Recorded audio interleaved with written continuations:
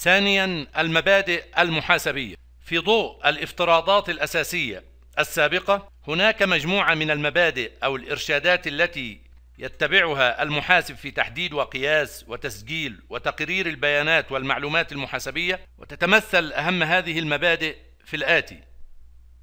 مبدأ التكلفة التاريخية وهذا المبدأ هناك اتفاق عام على أهمية وضرورة استخدامه كأساس لقياس عناصر القوائم المالية وذلك على اعتبار أن الأسعار محددة ومعروفة وغير قابلة للجدل أو التغير كما أنها واقعية وذلك لتوافر المستندات المؤيدة له. ومن ثم فإن هذا المبدأ يستند إلى أساس حقيقي وموضوعي.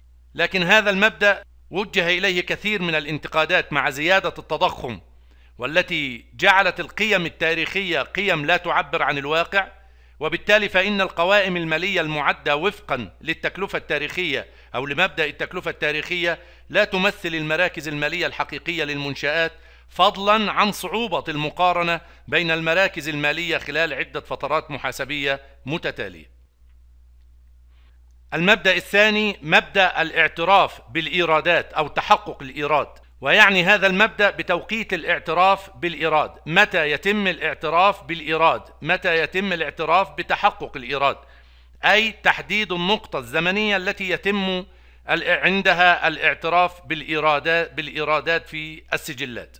وتتحدد هذه النقطة بذلك التاريخ الذي يتوافر عنده شرطان. الشرط الأول اكتساب الإيراد. والشرط الثاني تحقق هذا الإيراد أو كونه أصبح قابلا للتحقق. ويعد الإيراد أيضا مكتسبا بشرطين في حالة تقديم الخدمة أو تسليم السلعة وفي حالة وجود عملية تبادل بين الوحدة المحاسبية والوحدات الأخرى. المبدأ الثالث من المبادئ المحاسبية مبدأ مقابلة المصروفات بالإيرادات. وهذا المبدأ من المبادئ الهامة لتحديد نتيجة عمليات الشركة من ربح أو خسارة خلال الفترة المحاسبية حيث يتبع المحاسبون في الاعتراف بالمصروفات قاعدة مسايرة النفقات للإيرادات بمعنى أنه لا يتم الاعتراف بالمصروفات إلا عندما يساهم العمل أو الخدمة أو الإنتاج فعليا في تحقيق الإيرادات السنوية بمعنى ضرورة وجود ارتباط مباشر بين الاعتراف بالمصروفات أو الاعتراف بالإيرادات. وهناك ثلاثة أسس لمقابلة المصروفات بالإيرادات. الأساس الأول ارتباط الأثر بالسبب أو علاقة السببية ثم التخصيص المنطقي والمنظم ثم التحميل المباشر على إيرادات الفترة.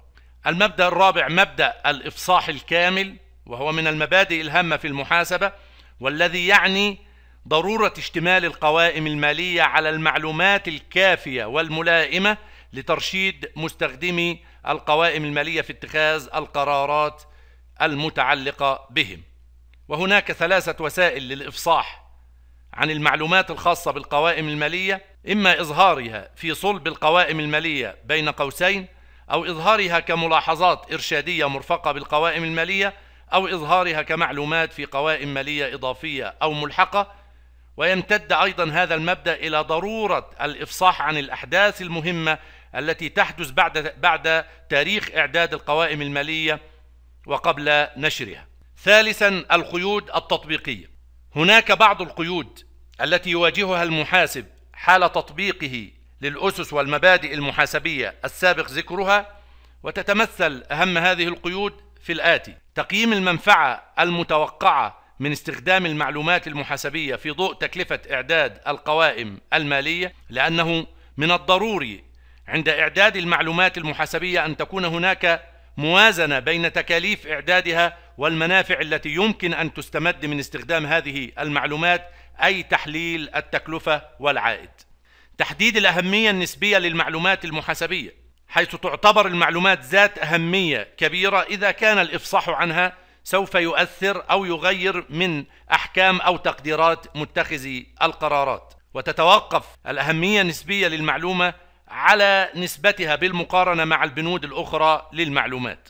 وأيضا تتوقف على طبيعة العنصر مثل المعاملات بين الشركة وأعضاء مجلس إدارته. وفي هذا الإطار لابد من وجود سياسة واضحة للشركة في مجال تحديد الأهمية النسبية للمعلومات يتم تطبيقها بصورة مستمرة. أيضا من القيود التي يواجهها المحاسب الخصائص الذاتية لبعض الأنشطة والأعراف السائدة بصددها. فقد تتطلب الطبيعة الخاصة لبعض الأنشطة الخروج على المبادئ المحاسبية المتعارف عليها كما في تقييم الاستثمارات في البنوك وأيضا تبويب الأصول الثابتة بشركات المنافع العامة تبويبها قبل الأصول المتداولة. أيضا من القيود مبدأ الحيطة والحذر في تقدير وتقويم بنود القوائم المالية حيث تتطلب بعض القرارات التي يتخذها المحاسب في مجال تقويم الأصول وتحديد صافي نتيجة النشاط ضرورة إجراء بعض التقديرات والأحكام الشخصية.